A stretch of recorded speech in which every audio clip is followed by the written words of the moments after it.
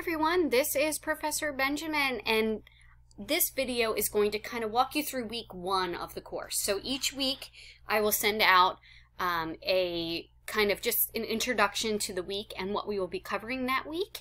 And then, of course, if you have questions or concerns, you're more than welcome to reach out to me. But I'm really excited. Um, I hope you enjoy these kind of little just recap or description videos of what we're covering for the week.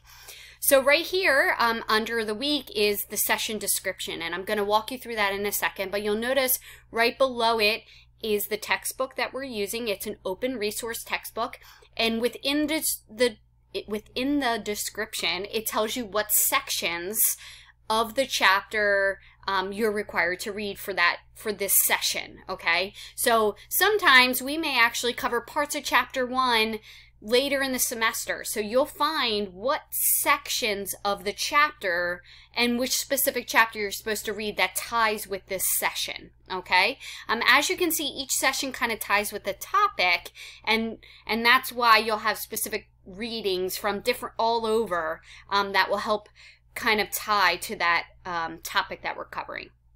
Right below that, you'll find the introduction PowerPoint all of these PowerPoints um, I've created. And um, yes, yeah, some of the stuff has come from previous semesters that I've taught. You might see some, um, some um, images or charts from Pearson, um, but overall they tie to the textbook chapter reading, um, and that will help you. The other thing is within the PowerPoints, there's sometimes embedded videos and you want to watch those because that'll help you understand a concept that we're covering within that specific uh, session. Below that, you'll see there's a TED Talk feedback loops video, and I want you to watch this because it talks about positive and negative feedbacks, and we talk about that within the session. Positive and negative feedbacks are what brings about balance in an ecosystem. And two things to quickly remember about positive and negative feedback loops positive feedback loops reinforce the change okay and so what happens is is technically positive feedback loops in terms of the environment or environmental science are actually bad things. Um, and that's because they reinforce the change. They keep that change happening that may be detrimental to the ecosystem. The other negative feedback loops almost change the directional change and try and take it back to the way it was. And within this video, they'll talk about those positive and negative feedback loops. But please remember that in terms of environmental conservation, positive reinforces change, but in terms of whether it's good or bad for the environment, it's not the best thing. Um, and I know that's a really difficult concept to understand because of the words positive and negative, um, but I want you to take note to that. Below that is the video on the scientific method, and our assignment this week deals with the scientific method. So you have a series of worksheets that you need to complete about the scientific method. The scientific method is absolutely essential to environmental science it is the key tool to us being able to solve scientific problems, be able to repeat experiments, be able to take out variables and factors, put variable and factors in. And of course, today um, you're learning about this in terms of COVID is that science always changes and we really need those scientific method and those um, kind of factual based peer reviewed journal articles to be able to give us that idea that we can um, replicate an experiment over and over again and have the same results. Also, one thing we need to learn about science is that science leads us to change, meaning that everything that we hypothesize doesn't always come true, and that very well may lead to a new development or even something better. So for a lot of times specific drugs that we have, we may have we may be testing um, and that drug may be in trial for something else to cure one thing, when in reality, we learn that it actually cures something else. Um, and so it's not always a bad thing. Um, and then we have ecosystem services. This is really important. It's a reading article. It talks about the services that ecosystems provide to us. So they provide to us cultural services, provisioning services, they they provide a bunch of different services to us and this talks about those services um, that it, they provide Ecological succession is another topic that we cover in this session, and primary and secondary succession are two important terms that we're going to cover this session, and I'll let you read about those. I try and refrain from telling you exactly what things are because I like you to read and learn about them, and then if you have questions, you're more than welcome to ask me about that. Um, sometimes in life, people are telling us our opinions already without us learning the factual basis behind them, so I like for you to learn and understand the concepts, and then if you need clarifying questions, you're more than welcome to ask me. So we'll have our introduction forum post. Remember all introduction initial posts are due by Wednesday and then the response post to your fellow classmate is due by Thursday. You want to make sure you take note to that because again as I've explained in the home on the video on the home page as well as in the syllabus that Wednesday deadline doesn't show up on the to-do list in Canvas. So you want to make sure that you have that written or put an alarm on your phone etc that the initial part of this forum post, while the due date says Friday, there is a part of it that's due before that due date, and it's always due by Wednesdays 11:59. And then you're going to have your scientific um, method assignment. And as you can see, I've made walkthrough videos to help walk you through what I'm looking for in the assignment and hint, hint, sometimes I give you some of the answers to the assignment. So make sure that you watch these videos. They'll help you um, understand my expectations for the assignment, what I'm looking for in the answers. It's absolutely essential that you watch these videos. Um, don't try and complete the assignments without watching the videos because you may miss an integral component of the assignment that I'm trying to do or trying to accomplish. The last thing is the certification syllabus, and everyone has to do this. So you have to complete this item to move to week two in the course. Um, and that is the fact that you've read the syllabus, you understand the material in the syllabus, because that is sort of our contract together. Um, and it's while it's it's not a legal contract, it is our contract, so that you understand the expectations. And I've been doing this for a while, and I find that a lot of students do not read the syllabus, and it's absolutely essential that you've read the syllabus and that you certify that you've read the syllabus. So let's just quickly walk through the session description. And this is found under every module, but it tells you the objective. So I really want you to learn what positive and negative feedback loops are. Um, you'll probably have a question on your midterm about this. Um, understand the services that ecosystems provide. Again, you'll probably have a question on your midterm about this.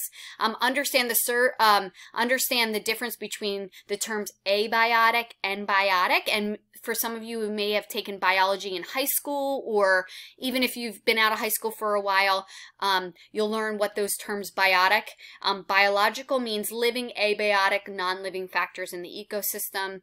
Um, understand that change is essential and inevitable. And I know we're learning that firsthand um, in society today. Change is inevitable and it happens. It's not always what we want. And as humans, we don't like change. We like to stay on one mode and in one comfort zone.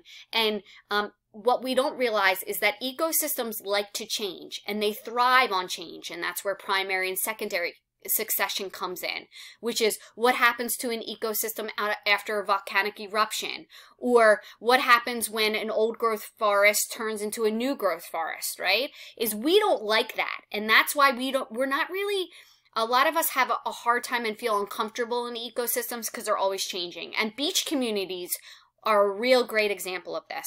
Beach communities hate that the shoreline changes, that the beach changes. So what do they do? They put in um, sea walls and they pump sand to the beaches because they want to keep their beach exactly as it is. The problem is that barrier islands are meant to change, um, but humans don't like that. So there you go.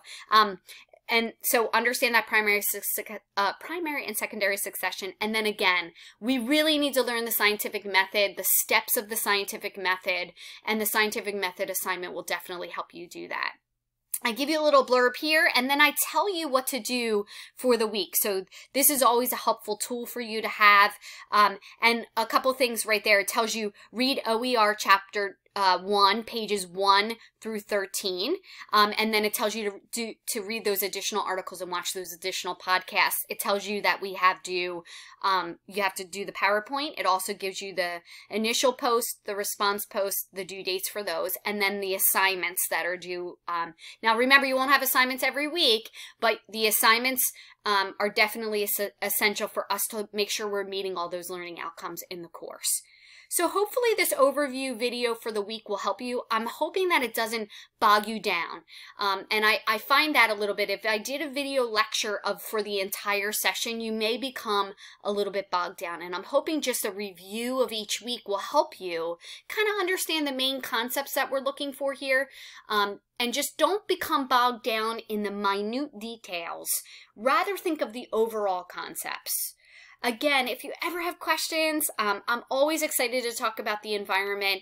Um, make sure you reach out before it becomes a problem. I It's so much easier for me to help you along the way than it is for you to email me on a Sunday night at 10 o'clock um, because sometimes I'm not available. So it's always better to email me during the week, get a handle on things um, before the due dates. And of course, if you have any questions, feel free to ask.